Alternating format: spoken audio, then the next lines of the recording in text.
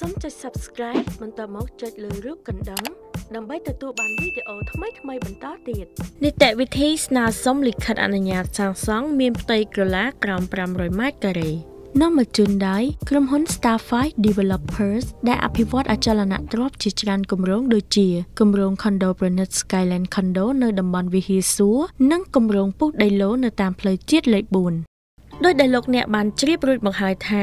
លិខិតអនុញ្ញាតសាងសង់គឺជាលិខិតដែលមានលក្ខណៈកតេយុត្តដែលបង្ហាញពីភាពស្របច្បាប់នៃការងារសាងសង់សំណង់ គោលគំនិតនៃការចេញលិខិតអនុញ្ញាតសាងសង់គឺដើម្បីធានាសុខុមាលភាពនៃសំណង់និងសวัสดิភាពសាធារណៈព្រមទាំងដើម្បីការពារដីធ្លីសាធារណៈចាំបាច់សម្រាប់ធានាដល់ដំណើរការរៀបចំទីក្រុងឲ្យបានល្អប្រសើរ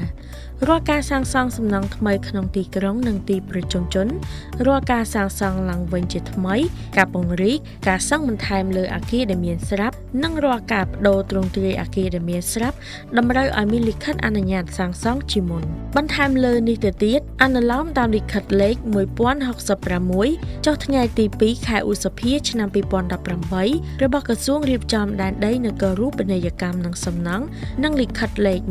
1472ចុះថ្ងៃថ្ងៃទី16ខែសីហាឆ្នាំ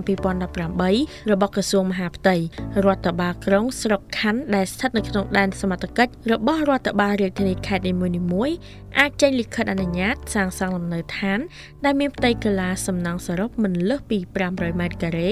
និងមានកម្ពស់មិនលើសពី4ជាន់រួមទាំងជាន់ផ្ទាល់ដី E0, E1, E2 និង E3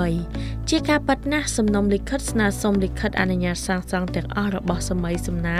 ត្រូវធ្វើជាភាសាខ្មែរដែលមានដូចតទៅ ក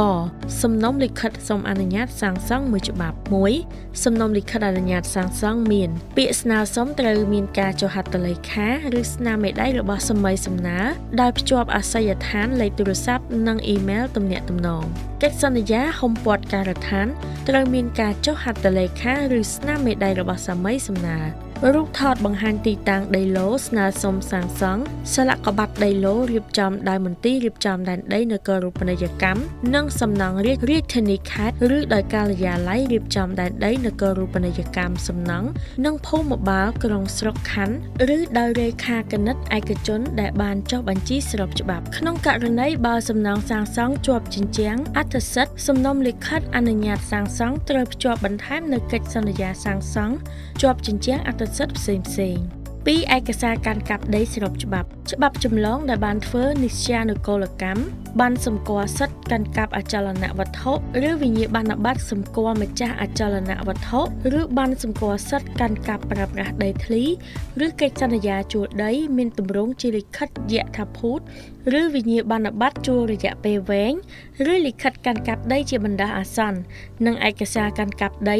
ដែលបានបញ្ជាក់ពីការបំពេញកាតព្វកិច្ចបង់ពន្ធប្រថាប់ត្រាតាមច្បាប់កំណត់ និងករណីអចលនវត្ថុជាប់បន្ទុកត្រូវមានលិខិតបញ្ជាក់ឯកភាពពីម្ចាស់បំណុល3អត្តសញ្ញាណប័ណ្ណសញ្ជាតិខ្មែរឬលិខិតឆ្លងដែនឬសៀវភៅគ្រួសារច្បាប់ថតចម្លង និងស្នាមមេដៃខ ប្លង់ស្ថាបត្យកម្មសម្រាប់ស្នើសុំលិខិតអនុញ្ញាតសាងសង់ពីច្បាប់ 1 ប្លង់បង្ហាញទីតាំង ត្រូវបង្ហាញទិសខាងជើងទៅលើមាត្រដ្ឋាន1លើ500ទៅ1លើ10000ពីរប្លង់សរុបដោយបង្ហាញទិសខាងជើងទៅលើមាត្រដ្ឋាន1លើ200ទៅ1លើ1000 3តារាងឈ្មោះអាគារឈ្មោះសញ្ញកប្លង់ក្រឡាផ្ទៃសំណង់គ្រប់បន្ទប់គ្រប់ជាន់ក្រឡាផ្ទៃសរុបផលធៀបផ្ទៃបាតសំណង់និងសន្ទុះប្រើប្រាស់ដីច្រកសង្គ្រោះបន្ទាន់និងទីតាំងបំពាក់ឧបករណ៍ពន្លត់អគិភ័យមាត្រដ្ឋាន1លើ100 4ប្លង់ដំបូលមាត្រដ្ឋាន1លើ100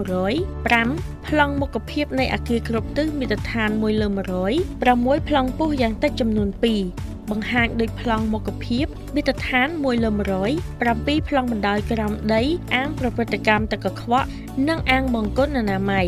8ប្លង់ត្រូវគូសលើក្រដាស A3 A2 A1 ឬ A0 លើកលែងតែក្នុងករណីចាំបាច់ដែលមានប្លង់ទំហំធំ អាចប្រើមាត្រដ្ឋាន1លើ200 9គ្រប់សន្លឹកប្លង់ត្រូវធ្វើតាមគំរូផ្លូវការរបស់ក្រសួងរៀបចំដែនដី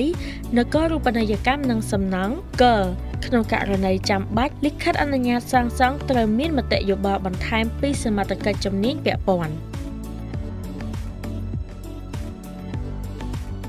សូមចុច Subscribe បន្តមកចុចលើរូបកណ្ដឹង